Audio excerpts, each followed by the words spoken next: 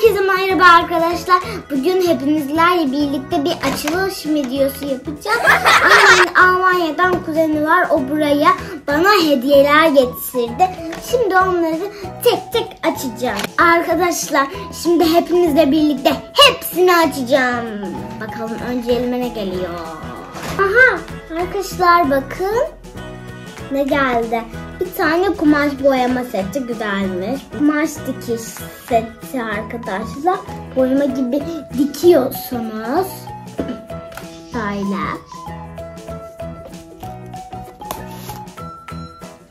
Bunun gibi bir şey dikeceğiz.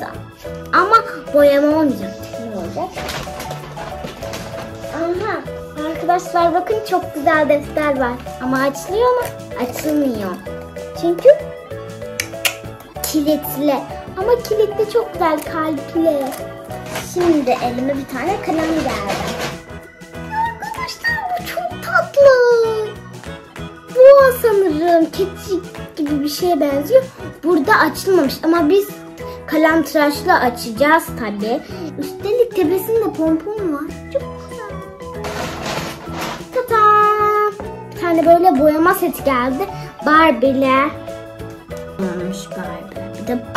Sanırım balaya gidiyor burada Barbie. Tatam! Arkadaşlar bu sanırım bir anahtar. Ve de böyle yaptığımız zaman o geliyor. Sanırım bu.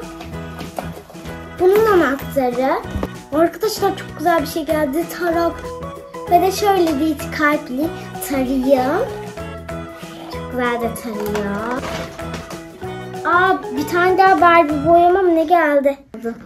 Sticker mı bunları anlamadım. Şimdi de bunları boyamam. Böyle. Aha bakın. Çok güzel bir tane çıkartma.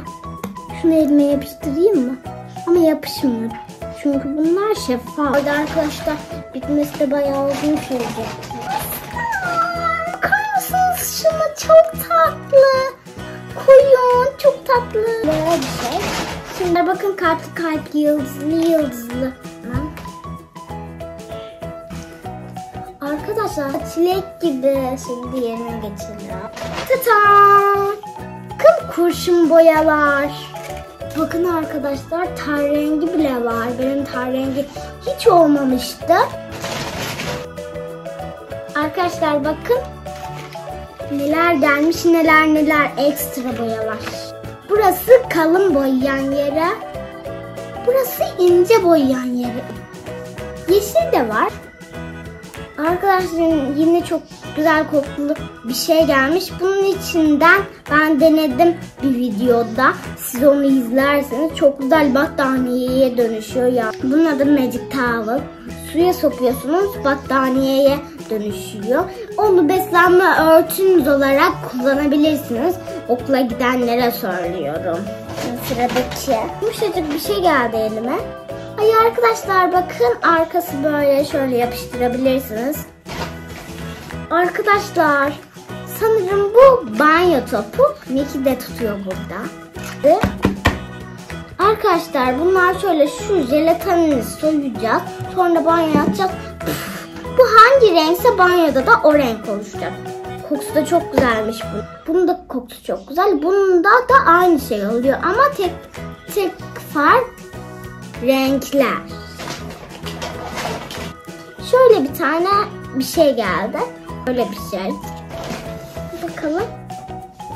Bir kalem. Bak.